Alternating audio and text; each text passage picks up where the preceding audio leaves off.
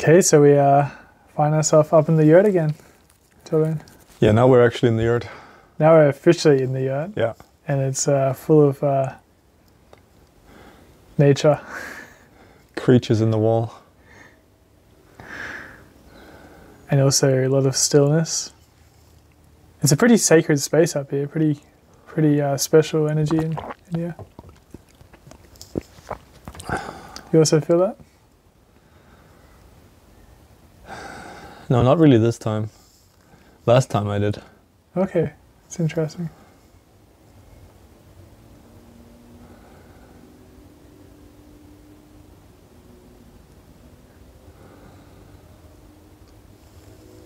Maybe it was to do with like the uh, atmosphere or something. Awesome.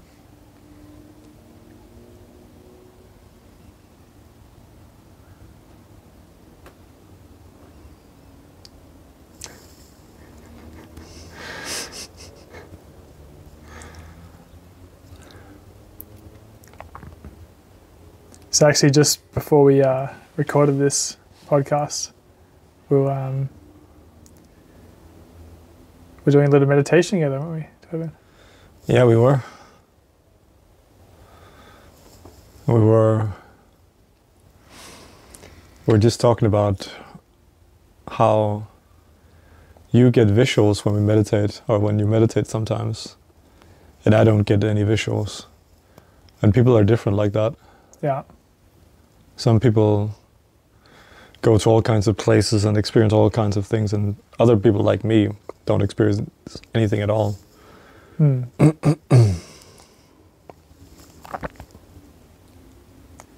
and either way is okay.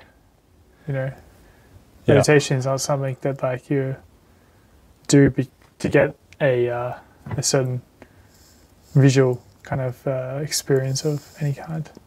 I mean, sometimes it happens, sometimes it doesn't. Yeah. For you, it doesn't happen. so it's like, that's that's very it's very okay. It's not the uh, no, by no means the uh, the uh, the goal of meditation. What is the goal of meditation?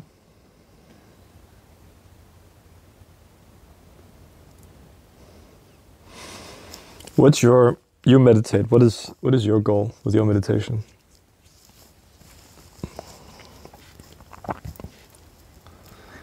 Like why did you when you when you started doing it? Why did you start doing it? What kind of what came out of it? Did like did the stuff come out of it that you thought would or what was what was it like for you? Why did you originally start? You can take us on a little tour. A little tour. Yeah. How did it start? Uh, how far back do you want to go in the tour? Well, just a a rough sum up of the the early times and just what you find important in your journey Okay. up until now with meditation. So, uh, meditation has been a part of my life the last 15 years, you can say. oh, same as me, more or less. Yeah. And there's been times, I mean, I got 16, but you know, you'll catch up, kiddo. Well, I'll never catch up if you keep going. Sorry. Go on, go on. That was yeah. No, but um, it's not something I've been like kind of actively doing for 15 years. Where, and that's where we differ, I guess. Is like it seems like on your journey, Torbjørn, that um, that you've been more consistent with it, and it's been more a part of your life. For me, it's been like there's different stages in my life where I've been showing up and meditating more often than not than others. And these last six months, six, eight months, maybe even longer now, I've been very, very consistent and very kind of, it's been very important for me to, to, um, to do that. But where it all started was actually when I was about 14 or 15. I read a book called The Tibetan Book of uh, Living and Dying. Oh, right. Yeah, it's called by, it's by Rin, Rinpoche. Oh, Rinpoche or whatever the yeah, yeah. like that's it. And there was some meditation guidance in there with a mantra and all this stuff. And I was just like, this sounds, this seems pretty interesting. So I literally just read the book and did the meditation. And um, yeah, I was doing it for like a week or something, and there was this moment of when I was sitting there, I was just following the instructions or whatever, and it's all that emptiness and things like that, and whatever else, and it was really interesting. What happened was my everything just got really, really quiet, and yeah, my mind was just very, very still with thoughts. Probably not many thoughts actually at that that moment, and there was this incredible. Uh,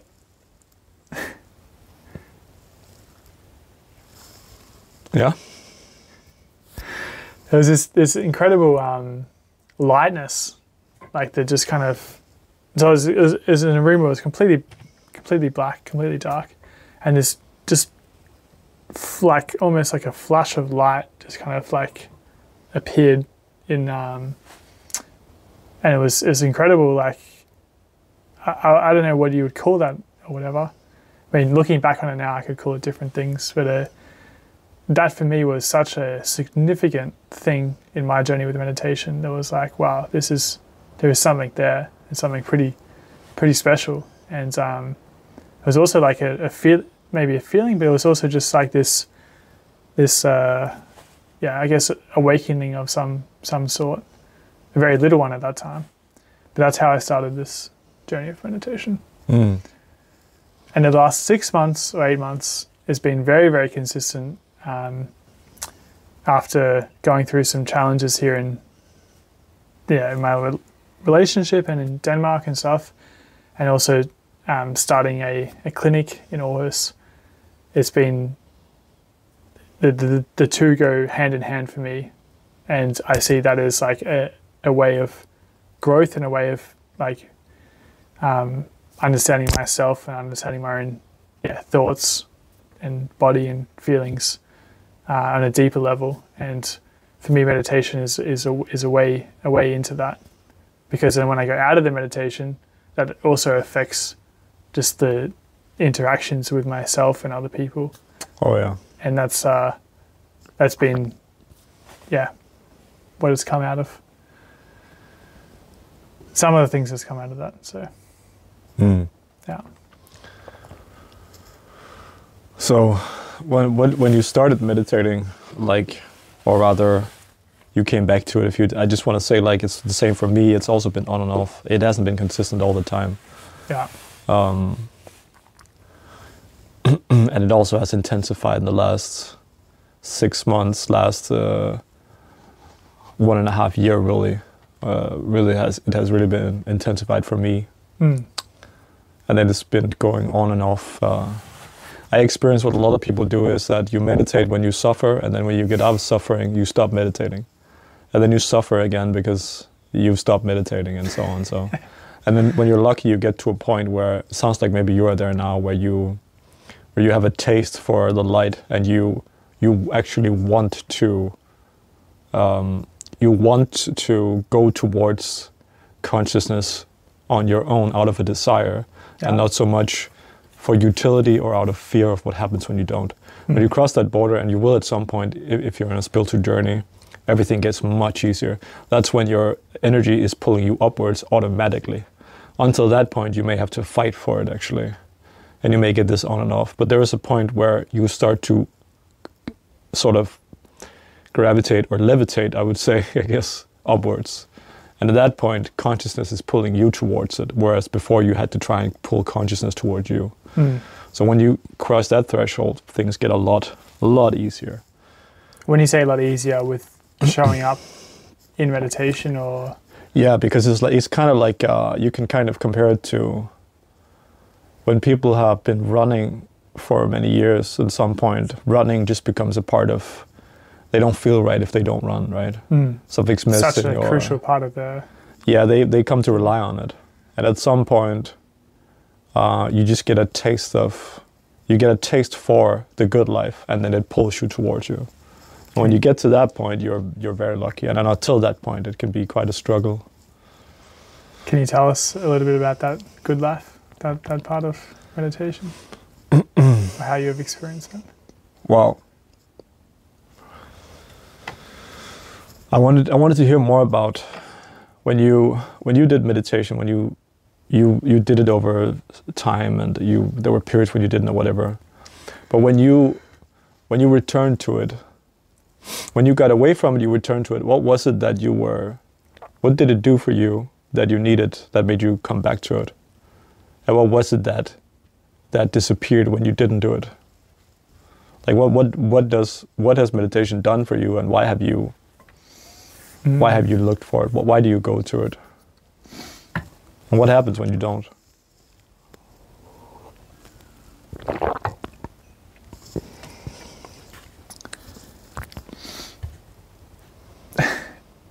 What happens when I don't uh, meditate? Yeah.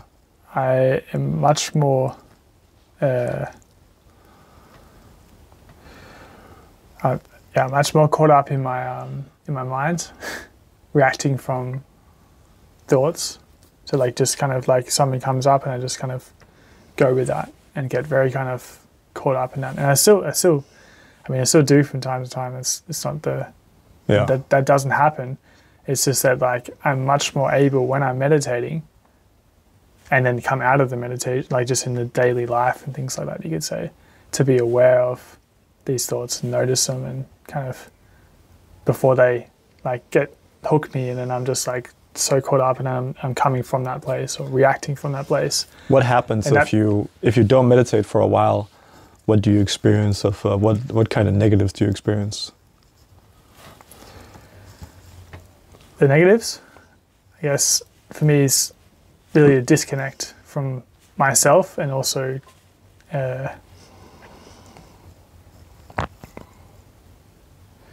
yeah, I- I'll just say like there's a there's a certain element of um, something missing. Yeah. Yeah. Do you get Some- any? something kind of like uh, yeah. You say Does anything build up? Is there a buildup of like stress or anxiety, or is there anything? Is there anything that, uh, for me, like it's almost like I get this uh, these waste products in my body of like emotion. yeah. and then I have to go meditate and I just kind of like clean out all because because all the thinking it gives me so many it creates so much anxiety that the body is full of all these fear chemicals or whatever it almost becomes polluted with all this stuff Mm. and then when I go back and meditate it's like I almost feel that it's or I I know that it's the body's cleaning out all this emotional residue Yeah. And sometimes it releases stress from tension and do Mm. you do you experience something like that as well? Yeah, yeah, I, I, I, I definitely experienced that it, um, it affects my yeah nerve nervous system in that way, Yeah. and Oh, uh, yeah. it's interesting, right? Because I would consider myself like a pretty uh, calm person in general, Yeah.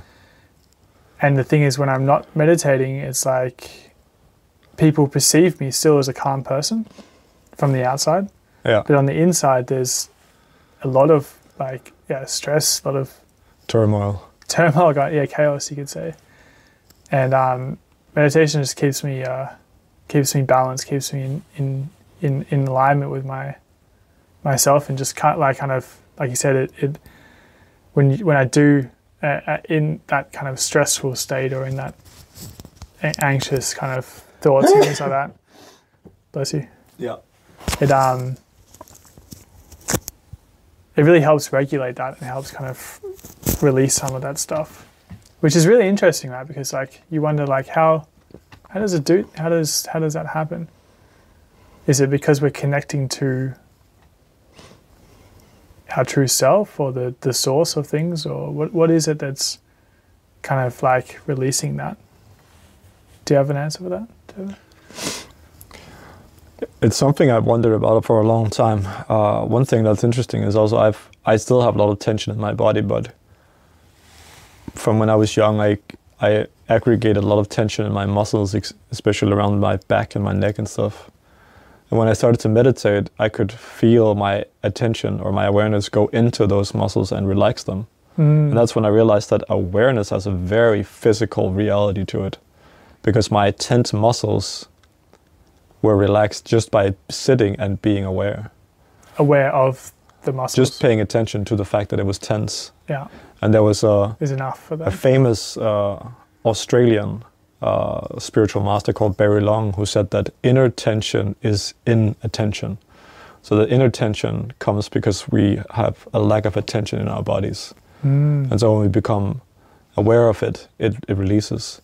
So I, I, uh, I mean, attention, awareness can, it can release trauma, it can release emotions. Most people know that. You can sit with it. But the fact that it can, you can give yourself a mental massage, and you can go deeper than a massage therapist can. If you sit with your tensions, and they'll start to release. That shows you how like concrete and physical the interaction between the physical and awareness is. It actually it concretely goes in and affects physical matter, which muscles are. And what it also does is if I'm if you have an emotion and you're aware of it, then that that dissolves the emotion over time. But if say say if I've been anxious, I've had a panic attack or whatever for, for, for whatever reason, then what I'll do if I if I've had a scare because something happened or whatever, what I'll do is I'll sit down, I'll I'll meditate, I'll get into my body, I'll feel the the sort of the residue from all the fear and all the the thoughts have stirred up chemicals, maybe my heart is beating, all kinds of things are going on. And the awareness will just make everything relax and it'll just release everything. And afterwards my body, the chemicals are gone from my body. Because I can I can feel like, you know, you're like you can feel your body's kind of full of there's like you're kind of stressed out, anxious, you've been overloaded, whatever. Mm. And then you sit with it and then it goes away. And similarly, and this is not al- always possible, it has to be very deep meditation, but similarly, there's a certain kind of fatigue in your head or your brain where you feel like you can't think or whatever. And sometimes if you take a nap, that'll go away. But also, if you meditate, if it's the, the light kind, if you meditate, you can feel that there is a substance in your brain that is being removed. I'm not entirely sure what it is, but it's your muscles can get like lactic acid, which builds up, and then it's a waste product of using on muscles, and then the acid builds up, and then you can't really use a muscle because the acid is uh, needs to be removed for the body for the muscle to work again. Yeah. The brain has similar things. If the brain has been overused for whatever reason, there is waste products in the brain. I don't know the technicality behind it, but I can feel it. And when you meditate, and some certain, if it's very bad, then you have to have meditation that is so deep that you almost go into sleep mode, which is a very deep kind of meditation. But most of the time, just sitting will reduce that brain fatigue, brain tiredness. Sitting with awareness. Well, awareness is sort of something that's always there. So Yeah. But connecting to that.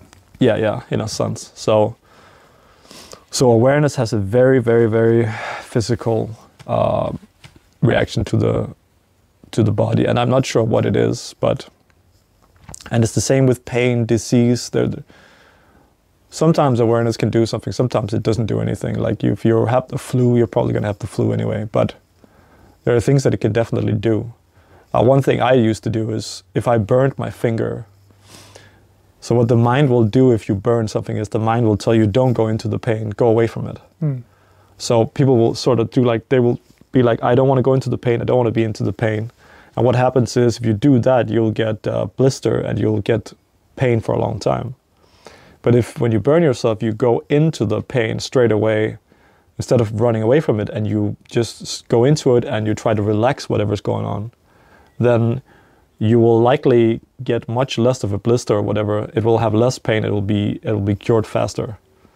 Because when you when you tense it up and try to escape from it, um, some kind of process is not working as well.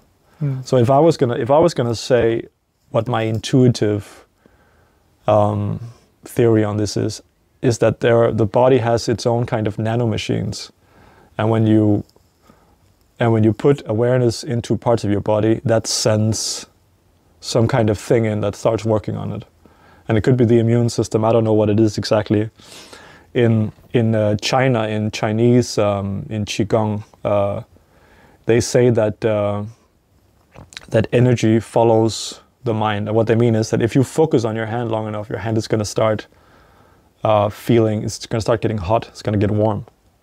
And you're going to start feeling energy in your hands. And you can do that anywhere. In China, they use it to um, heal um, certain things through like acupuncture, and they use it in martial arts to like strike harder and stuff. But basically, they say the mind leads the, the spirit or the mind leads energy. Um, so wherever you put your attention, that affects your body somehow. and everyone can kind of uh, experience it right now. If you're sitting on the floor or whatever, if you feel, if you feel how your feet are connected to the floor, feel the your feet touch the floor, and now from that go into your feet and see if you can feel it's almost like a vibration inside your feet. Your feet are vibrating, they're alive somehow. And if you have pain here, you might not want to go into them. The mind might be saying, Oh, I don't want to. Try to open up to the pain and accept it. And you'll feel that your feet are vibrating, they're full of life. There is some kind of energy there. And when you do that, you're actually bringing energy into your feet, and that can have healing properties and it also it's also a very interesting thing because when you have a wound or you have a pain, what happens? What is pain? Why do we have pain as humans, right? Well, two things. First of all, it's calling attention that something might be wrong. That's the first thing. But the other thing is it calls your mind to the area. So your mind starts focusing on the area and that leads energy to the area. And that's kind of interesting. That also leads healing if you're allow yourself to go to that place. Exactly, exactly. And you use this, you know, metaphor before where you talked about where you talked about the feet. Then you also talked about when you have a cut on your finger. You can right. also look at this um, this pain or this cut to be an emotion in your body. Yeah. Wherever that is, whatever that looks like, could be a trauma, it could be a uh, an emotion that's just stuck there from years ago. But oh it, yeah. When we're able to use the same thing that you're talking about with the finger with that emotion. Yeah. That can have a huge uh, cleansing or releasing kind of effect on that. Yeah. That, that, that, that thing when we're also in meditation or just in, in general when we put our awareness to to that thing and give that space and actually go into that. Yeah. Fully go into it without any avoidance of it at all. But just open up to that completely that also kind of gives gives the um, gives your your body or awareness yeah like puts the awareness into that part of your body and and, and allows that to kind of um, be free of of that that blockage or that emotion yeah which meditation you know also helps with right kind of going into those areas or being like sensing your body in, in that way, the subtleties of what's actually happening in your body, like listening to what's going on or a thought or a feeling. And yeah.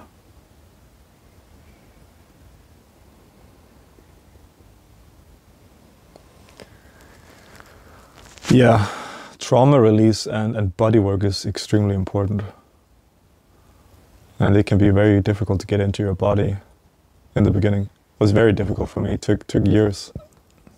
Took years. Took years for me to really embody my body. What do you mean by embody your body? Was well, I feel my body from the inside nowadays. Can so I talk, don't talk us through that. Huh? Can you talk us through that?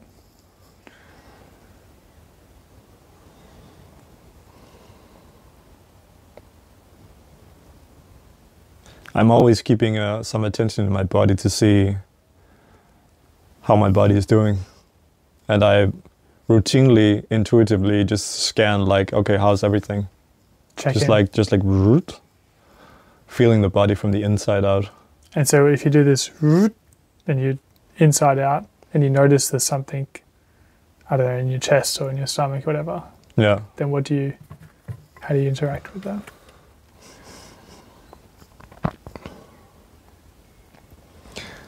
Well, usually if it's uh, if it's emotional, then I, you know, I, I have to. I usually sit with it or go for a walk. Often I go for a walk. When I was younger, my trauma was very, very strong, very violent. So I could sit down; it would all come up. Mm. As I got older, it was I needed to go for a walk to loosen it up somehow. So I would go for because it was it wasn't as like volatile anymore. So I went for a walk and that kind of loosened it up, and I would I would feel it.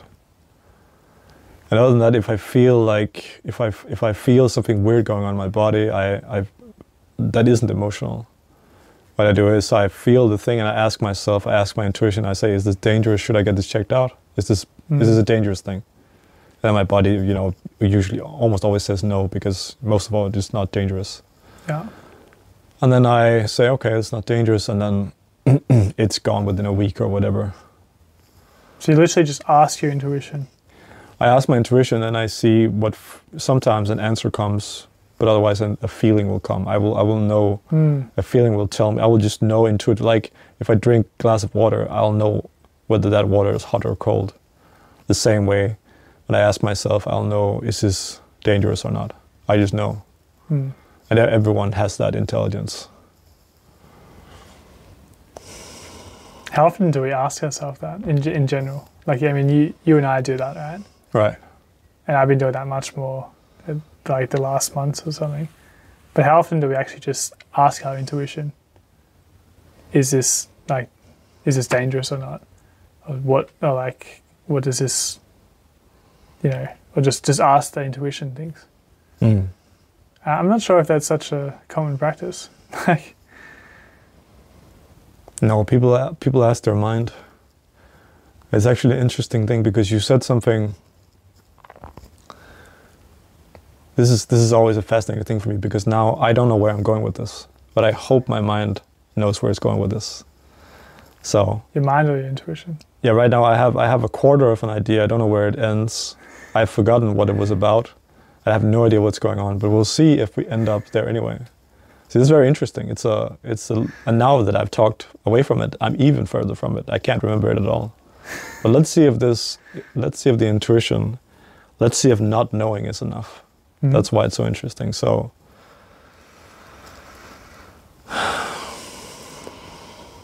you talked about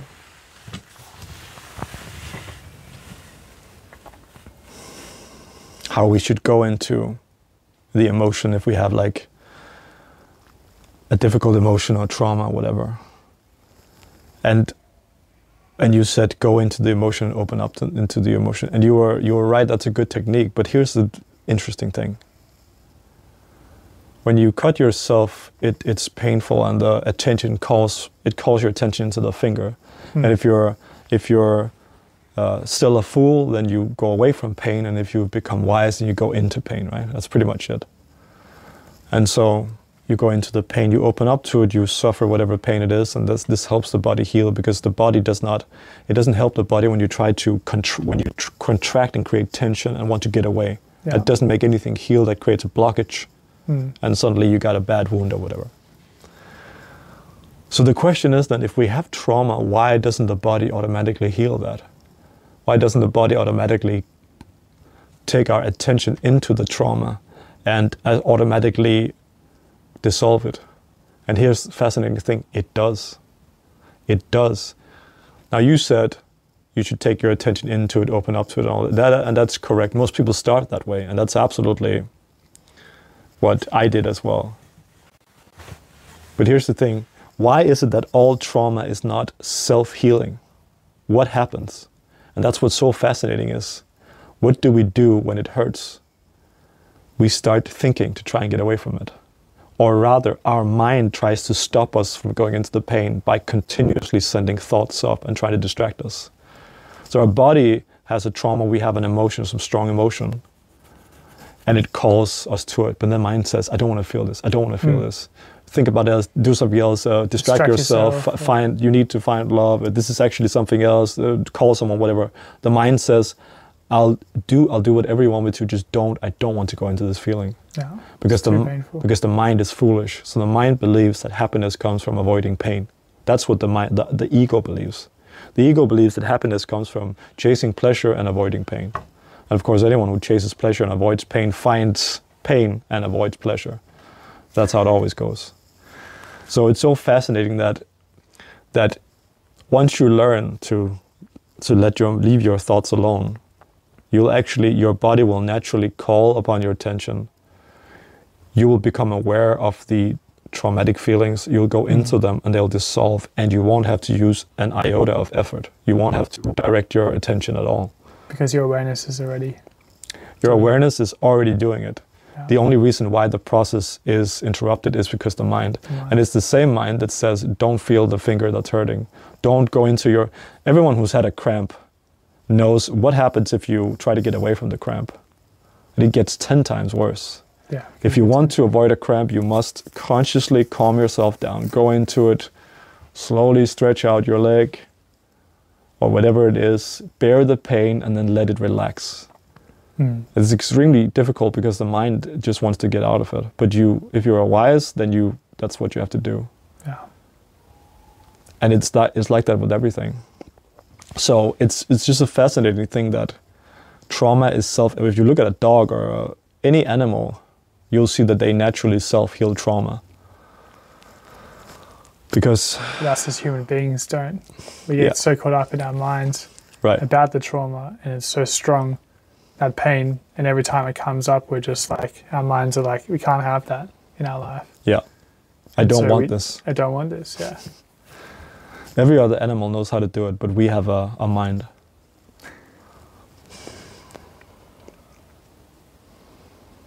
And that's and and we talked about meditation um, before, and that's also, I mean, the the the two parts are the same thing, really, Right. because the meditation really goes into this aware, like, well, it speaks right to the awareness, and able to notice what your mind is doing, Right. or when it is kind of caught up in. Um, not wanting the pain or not wanting the, the trauma. Yeah.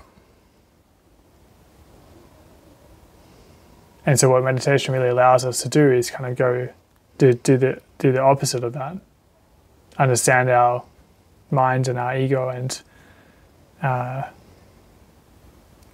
understand when it like notice when it's coming up and notice when there is emotions there that kind of in, to allow that allow them to be there.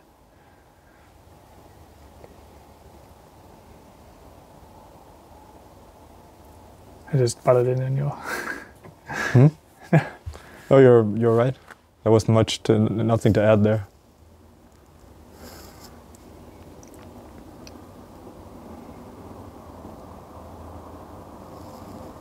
And isn't that incredible though that our awareness, when we allow ourselves to, uh, for our awareness to kind of heal those, the wound, the trauma, the emotion, the, the pain.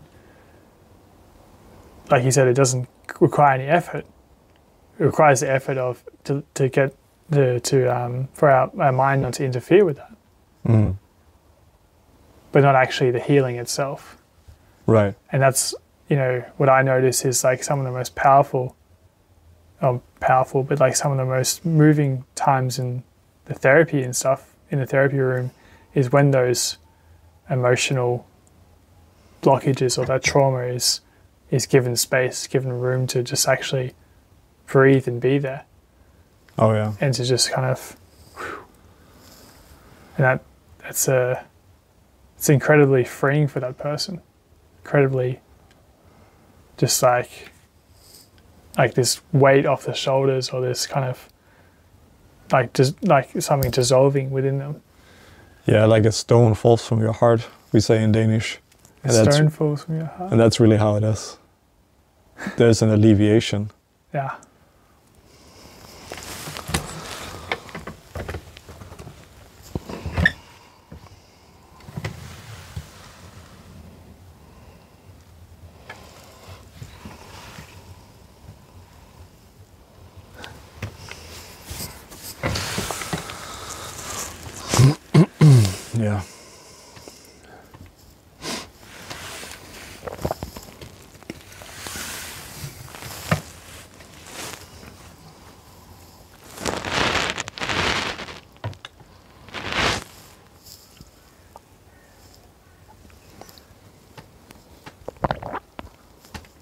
So, what would you say to somebody who's not familiar with meditation or has some kind of preconceived idea about what it needs to look like or be like or whatever?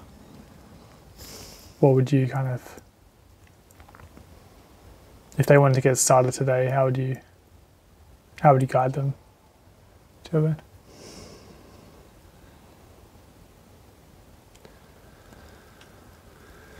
I would say that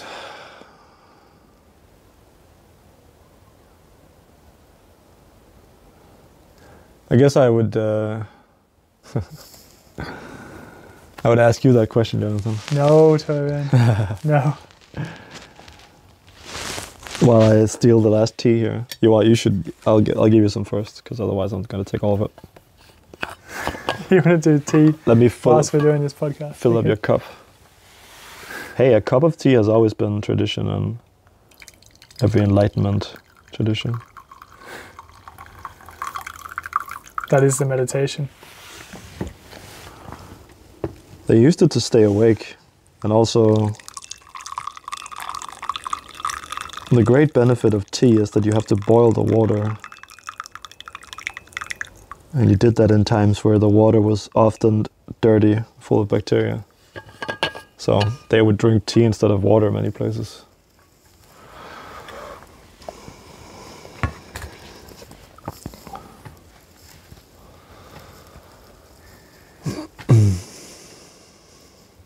Wait, so you just put the question back onto me, Torbjørn? Is it the Well, I didn't do it, but uh, did okay? the man upstairs. I would say just say first of all, like, choose whatever it is in your life, whether it's meditation, whether it's um, being with that person that you you love, or you know the kind of work you do, or whatever it is. It's important to choose that. So if it's meditation, in this case, then the first thing is actually just choosing that I actually yeah, choose meditation and choose to show up for it. Because that's, I mean, part of the thing is like the discipline in it. Because you know, anything in life takes something of you, Yeah. Right? And so it's not going to happen if you just uh, a little bit like loose with it. It's going to happen if you actually say, okay, there's no excuses here. I'm just going to sit down and, and do it, do the work. And the work is on, on yourself. The work is on your, on your, on your growth and understanding of who, who you are and your, your, your awareness, your, your thoughts, your minds, your emotions, your body. And I mean, like, and that, that ripples into all areas of your life. Oh yeah. So is that not one of the highest, like, or, or is that not enough, an, an important enough thing to kind of put some time away in your day for, however busy your day is? Because that time can also be the most peaceful, the most connected, the most calm, the most kind of connecting part, like time, time in that day. And this, and this is what I'm talking about now is like kind of sitting down in a bit more like of a formal meditation because you can also just meditate when you're with people. You do that all the time with me, Torbjørn. yeah. We do that together as well. But if you're just starting out, if you're just kind of getting started on this, then just sitting there, sitting there with your whether you're in a chair or finding a place in your home where you choose to just sit down and give your time, give yourself that time of the day um, to meditate. Personally, I actually just have this um, space in my lounge room where every morning I wake up and the very first thing I do is just go downstairs and sit there for, you know, sometimes 10 minutes, sometimes 20 minutes, just depends on the day, but just some time, whatever that is for you, that could be just starting out with five minutes or whatever that looks like, and just sitting there and, you know, essentially just noticing your your mind, noticing or observing your thoughts and observing what's going on in your body. And allowing that awareness to kind of be there and just notice that as well. So whatever comes up in that time, just just notice notice that. I mean, we, we're sitting here doing a meditation before, and I, I said to you, Torbjørn, um, would you be like willing to give an instruction? And what was the instruction that you gave the whole time we're meditating? I said, uh, observe that. And then I didn't say anything more. And that is at, at the at the core of meditation, right? It's the simplicity of. I mean, there's much more to it than that, um, but that's a starting point, right?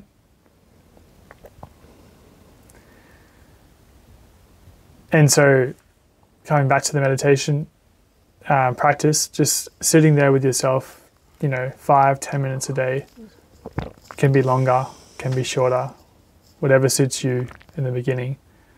But just putting that time away because that's your own time, your own growth, your own. It's working on you on yourself and your understanding of self, and giving your awareness some space to kind of, yeah, be there and notice that part of you. That sometimes, you know, we're so busy just in our day to day life that we're, we're not even aware of what is going on inside ourselves, and and so We're not even Yeah. aware that we're not aware. Yeah. Yeah. Not even aware that we're not aware. Yeah, we're just kind of running, right? We're just doing one thing after the other, reacting from our thoughts, thought after thought. Whatever it says, we just kind of do that blindly. Until you get to a point, and maybe it's from meditation, maybe it's from reflection on your life, maybe it's that you just, you know, become aware somehow when you start noticing, hey, hang on a second, like there's there's these thoughts and I don't have to react from them. I can kind of step back from them or get a higher perspective of that and notice them coming and going and I can just choose to do something something different to that. When you do realize that, when you do become aware of that, that, that is a very, very significant day in your life Oh, yes. very, very big. The realization that we are not our thoughts, the realization that we are something more than our thoughts, we're more than the feelings that we have. There's something else going on.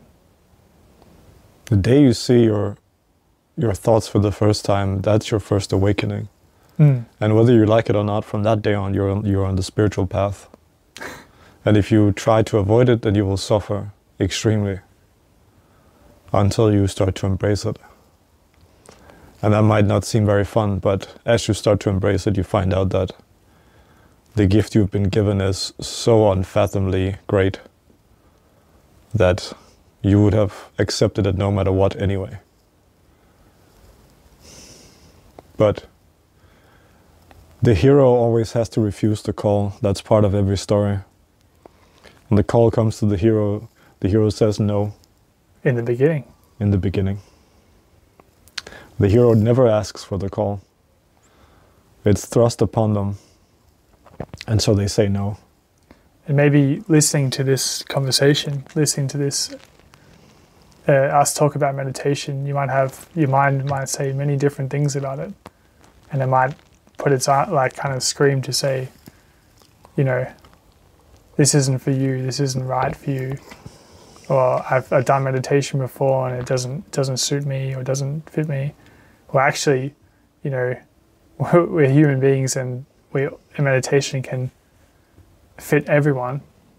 It's just depending on, you know, how you do it as a as and what works for you as a person, right? Um, where was I going with that? And there's and a lot of people who have trauma may find meditation to be painful or unpleasant because they'll be Mm, going into silence. yeah, and this can be. This is where I was going with it. So, for your for for your mind or your ego, this can be completely uh, like a no go. This because this is like a. Uh, how would you say that, to Torbjørn? Death. An ego death. Yeah. Your ego knows that meditation is death. for the ego, Yeah. for the mind. Because there's liberation from that part of yourself, from your thoughts. And therefore, it looks at it like an enemy. And it is. From the ego's perspective, it is the enemy.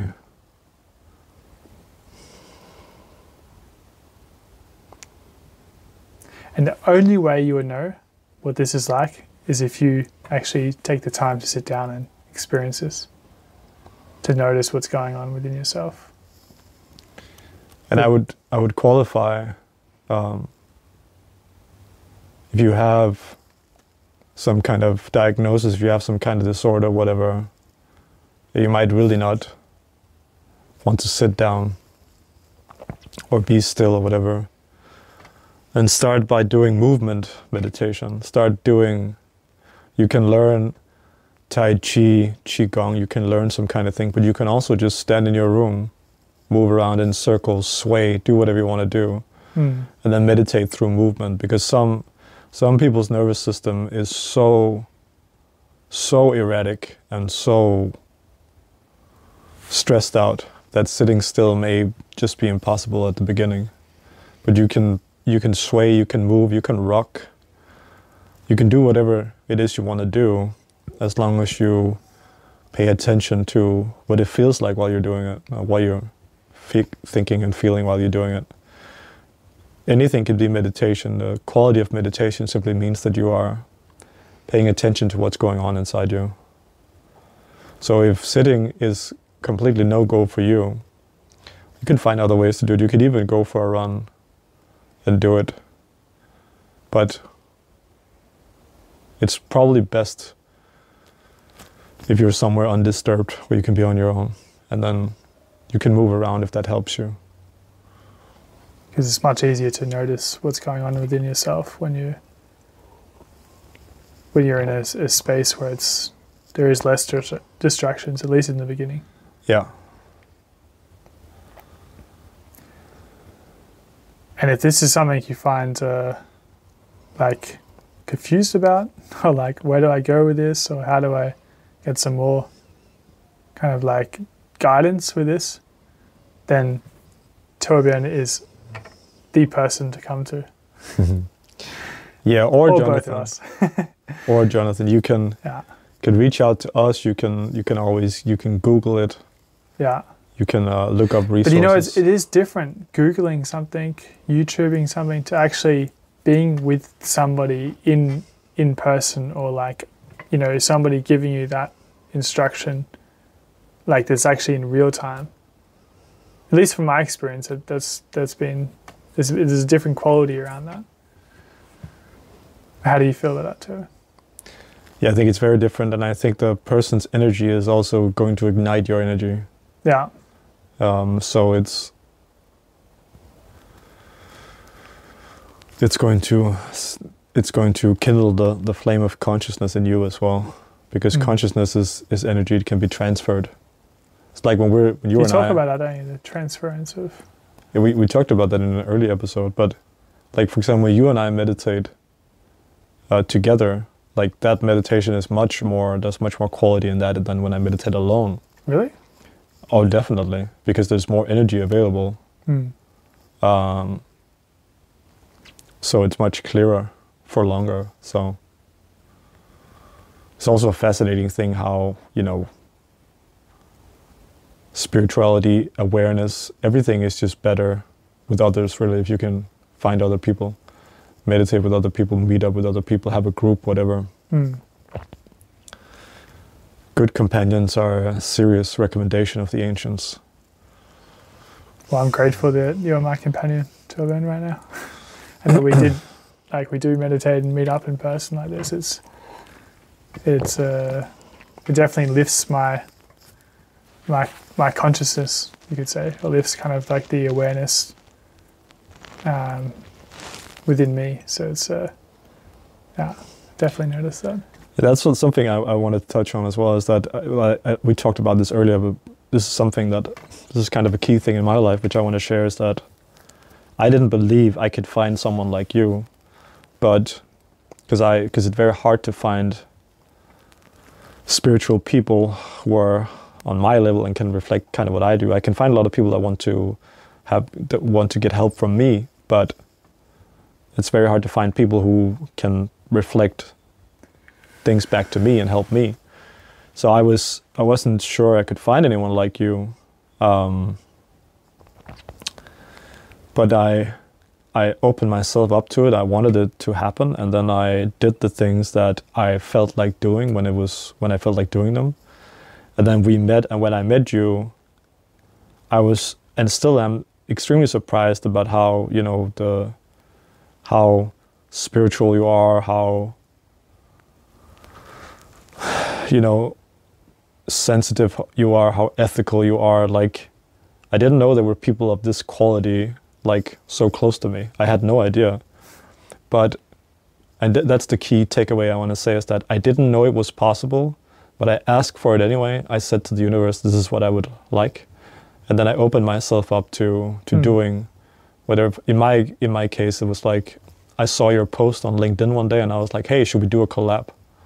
And that that was a spontaneous action from me. And at the time, I was like, I didn't really know you. I didn't know these things about you. It was just kind of a feeling, so I just went with it. Yeah.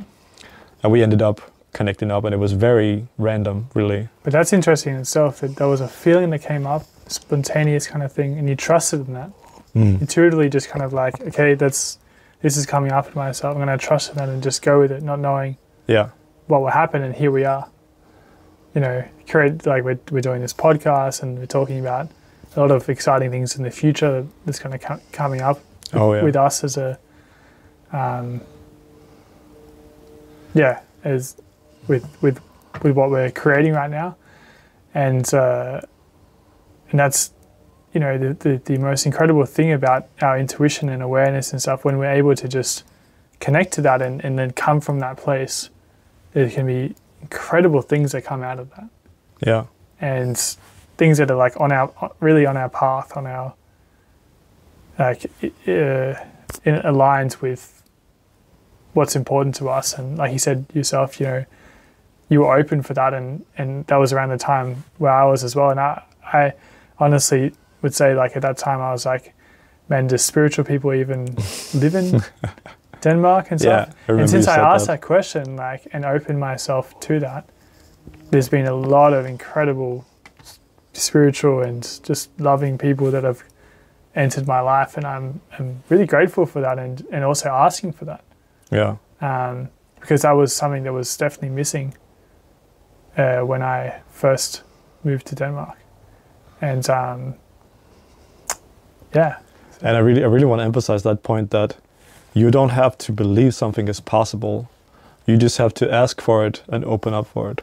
yeah, because your ego my ego has always i come from a family where nothing is possible right? So that's how my ego was programmed. So i'm saying you don't have to believe. You just have to open up to it and then see with your own eyes and something i talked about you earlier something that also helps me is i remind myself that it's not my job to figure out how to get things done mm, I'm not supposed to know how I'm going to achieve my dreams. My job is to figure out what is it that I want to do and how do I want to do it. So I follow my my energy, my desire, what makes me happy, and then it's up to the universe to make to manifest the whatever path that leads to for me. I don't need to know how I get to my goal or my dream. That's not my job. That's not what the human mind does. That's what the universe does. The human mind is made to seek and follow your bliss. That's your job. Now, how that gets you to where you need to be, that's the universe's job. And you have to respect that division because if you start trying to think your way or force your way towards your dream, you will suffer incredibly and you will make and you will make other people suffer. Now, if spontaneously you get up, you you you know what the plan is, whatever, that's different. That's fine. You follow your you follow the Mm. good energy Would But- you force it? you might some people get a calling they get a vision they know exactly what to do some people get nothing they just walk the pathless path and they get there anyway this is very different from people but the important part is that the human mind is not made to understand the universe it is just made to follow the the human energy.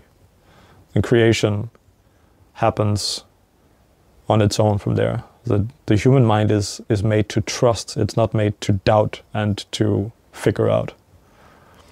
And if you should be one of those people who have a lot of energy and you're very disciplined and you work your way to your goal, remember that every brick of this universe that you force out of position through your sheer effort is going to shift back into place at some point because you're going against the will of heaven, the will of everything by trying to force things, and that will come back.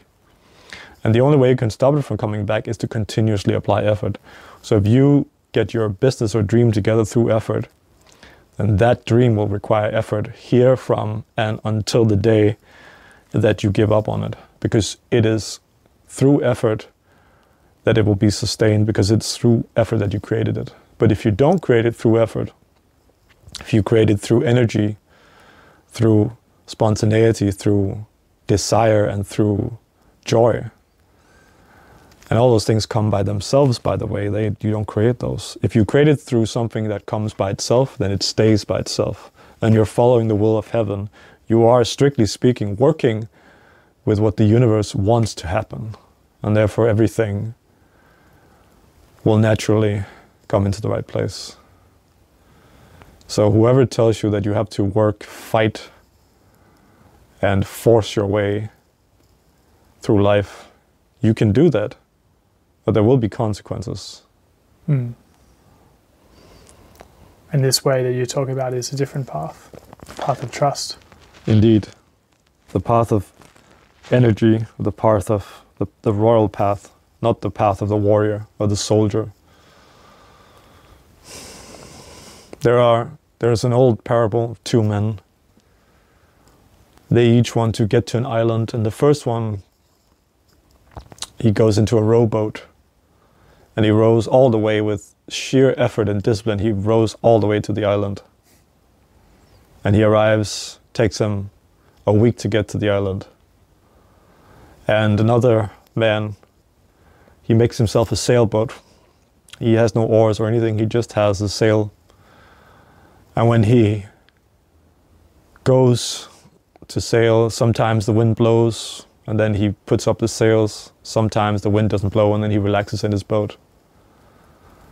And 10 days later, he arrives at the same island. And when he arrives, the man in the rowboat laughs at him and, see, and says, See how slow you were. See how long it took you to get here. I've been here for three days. You've just arrived. And the man in the rowboat thought he'd won because he got there three days earlier. But you have to consider how do you want to live? Do you want to get mm-hmm. there three days earlier and force and fight yourself through every obstacle? Or do you want to put up the sail when the energy is there and relax when it isn't there? And you get to choose, and life will give you the life that you want.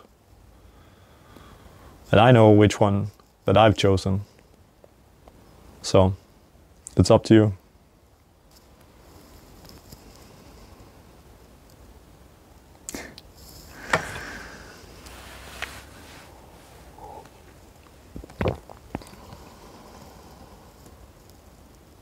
That's really beautiful.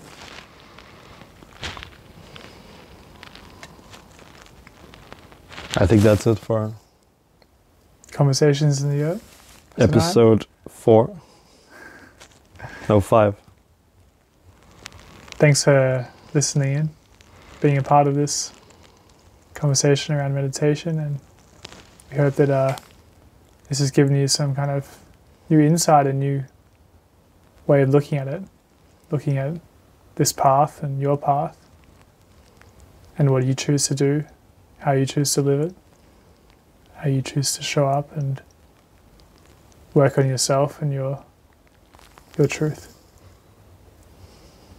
And we're always here for you and we, we only want you to to to succeed to achieve that to be on that path and be close to your awareness to know yourself